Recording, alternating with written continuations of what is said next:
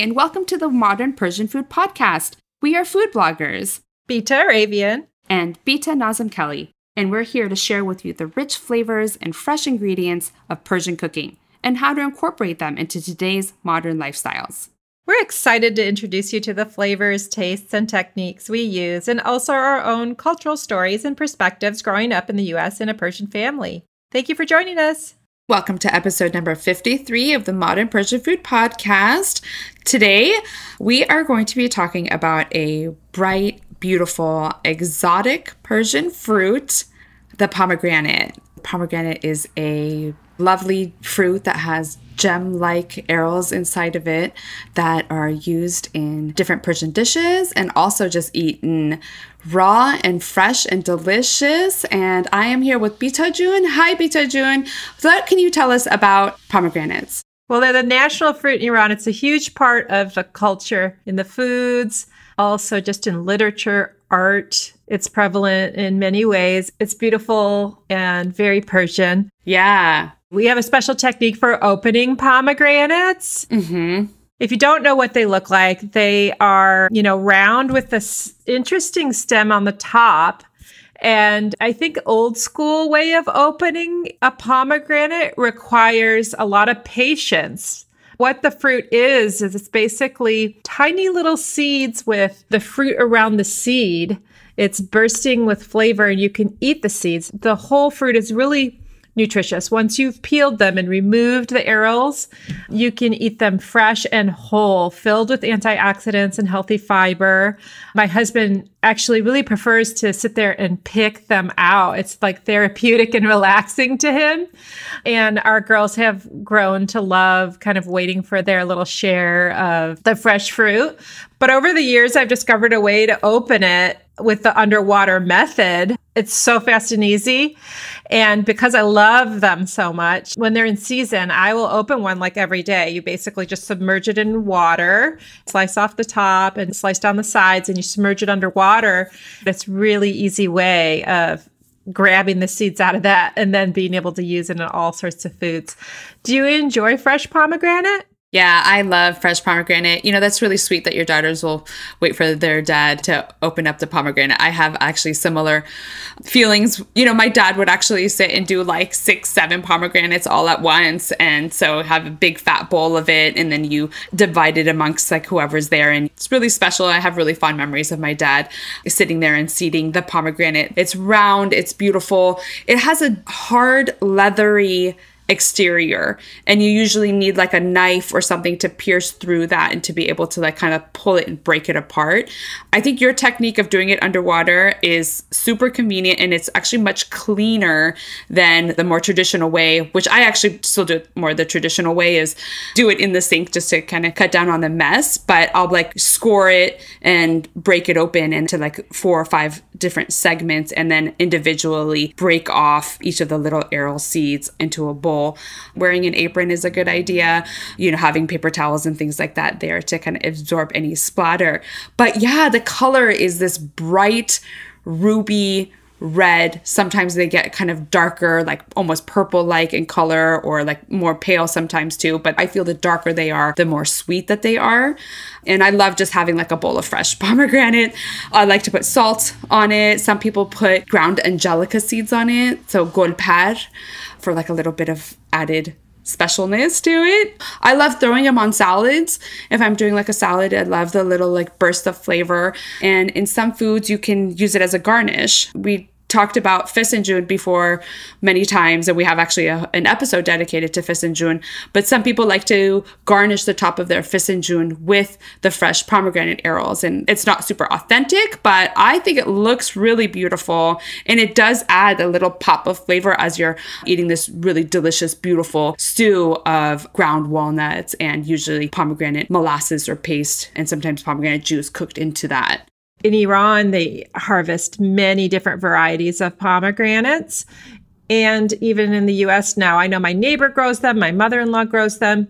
And if you've ever gotten to be fortunate not enough to be gifted a fresh pomegranate from a tree, if you wait until they're almost bursting, like you said, they have the segments. Mm-hmm. If they're like almost bursting, that's when they are so ripe and ready to eat. And then opening them and removing the arils becomes that much easier. They almost fall out Uh-huh. and they're extra sweet and delicious. Oh, good point. They also look beautiful on top of jeweled rice. Oh, yes. Shirin polo, also known as jeweled rice, and that is the beautiful rice that has sometimes slivered carrots and beautiful dried fruit and Orange peel. orange peel and the fabulous color and flavor of pomegranate also fresh looks beautiful on top and the taste of it is tartly sweet and interesting and it may not be traditional to put it but definitely adds a beautiful presentation and a nice kind of pop of tartly sweet flavor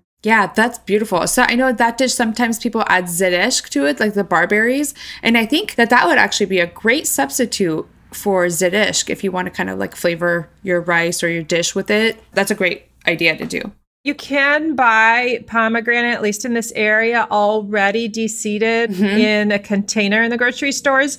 Just know that the shelf life is very short.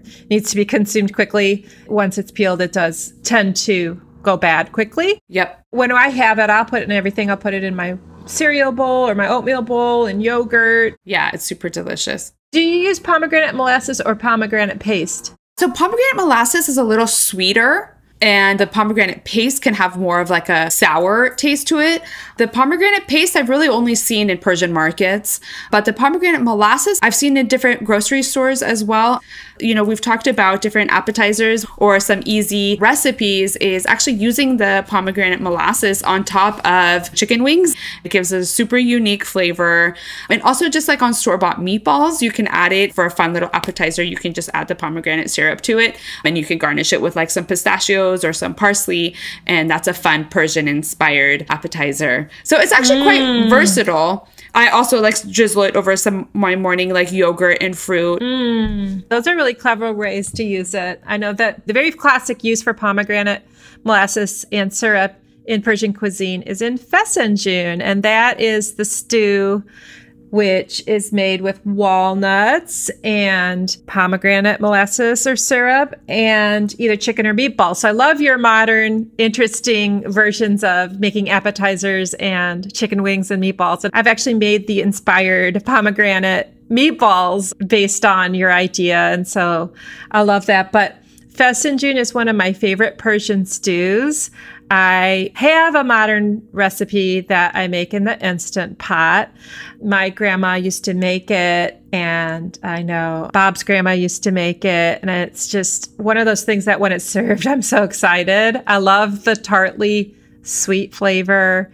It's so rich and comforting. Do you have any old school Persian recipes that you use pomegranate in? Yeah, I mean, I think the main one is really fesenjoon that I use it for. I know that there are some northern Iranian dishes that utilize pomegranate as well. We had Omid at the Caspian Chef on our show before, and he talked about pomegranates in a number of dishes. So it kind of ranges from what region you're from, different foods that you can put anar in, and anar is actually pomegranate in Farsi. There's actually another dish that I haven't made personally, but I really want to make it. I've had it a few times and it's super delicious. Is asheh anar, which is an anar hearty soup. And that is actually made with the pomegranates and pomegranate juice, and also split peas are in there, and a bunch of fresh herbs. And traditionally, they're made with the tiny little meatballs. Make sure that those are properly seasoned so that there's like a great burst of flavor in the soup. And that's another type of way that you can use anar in your cooking. That's true. I haven't made it that osh either, but I have tasted it. It is delicious. This beautiful, sacred, blessed fruit is actually great for holidays. I use it as decor. I think it's beautiful and unique, and I'll put it on a natural table setting in, you know, American Thanksgiving and over winter holidays. And let's not forget its important role in the longest, darkest night in the Persian holiday. You're referring to Shab Yalda. Yes, Shabeh Yalda. We talk about that in a previous episode. So, can you tell us more about how pomegranate plays a role in that night? Yeah, so it's the winter fruit, and the Shabeh Yalda, you have a little setting that has some of the fruits of winter time, and pomegranates are definitely featured there. We also talk about pomegranates on the Sofre Mehregan. A few episodes ago, we talked about Mehregan, and the pomegranate is featured there too. So, really, in the autumn and beginning of winter time, where this great, beautiful, gem like fruit is fully ripened, is where it's featured on some of these ceremonial place settings. Absolutely. Thank you, everybody. We wanted you guys to all know about beautiful, delicious pomegranates and how we use that in Persian cooking.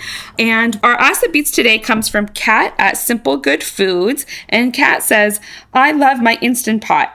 Do you have one and do you use it for Persian food? So you touched on it a little bit. I think you are our resident Instant Pot expert. I know you use yours a lot. So tell me, what are some of the, your favorite Persian dishes to cook in the Instant Pot? You mentioned fesenjoon, but what else do you use your Instant Pot for? Sure. Yeah, I love my Instant Pot. It cooks meat really quickly. It cuts down on the time. It's like an old school pressure cooker, but much easier.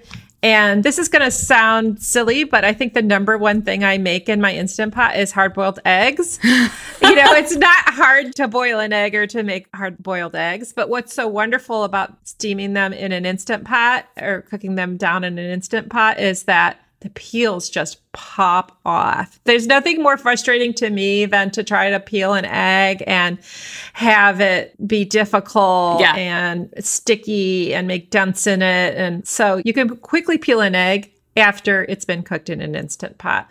You can also cook potatoes really quickly, and both eggs and potatoes can be used in salad olivieh, Persian yes. potato salad. It is also wonderful to cook soups and stews. I have the extra large instant pot. They are rather large, but yes, great for soups and stews. And as you know, Persian food is a lot of stews. I think fesenjin that we talked about, I do cook in there. One thing you have to be careful of with Persian stews is lentils and yellow split peas because the Instant Pot gets hot so quickly, they can overcook and get mushy. So there's some strategies around that. You can actually saute in an Instant Pot, the onions and so on on the bottom. And you could cook the meat in it. And then, depending on what kind of yellow split peas you have, you can actually, at the end of the pressure cooking, switch the setting on it, take off the lid, and then just kind of add the yellow split peas at the end, for example, so that they don't overcook. Do you have an Instant Pot, Bita June? I do have an instant pot, but to be honest with you, I actually don't use it very often. I don't have a lot of counter space, so it's on a shelf. And so breaking it out has to kind of like really be worthwhile for me to do that. But it serves a really great purpose of being able to use one pot to be able to quickly cook your food, specifically when it comes to like Persian meats and stews. Because a lot of time the meats need to cook so much that they're kind of like falling apart. The mahicheh and like baghali polo mahicheh, like a lamb shank and things like that cook really well in there because it does traditionally take a long time for them to cook and for it to become super luscious and soft.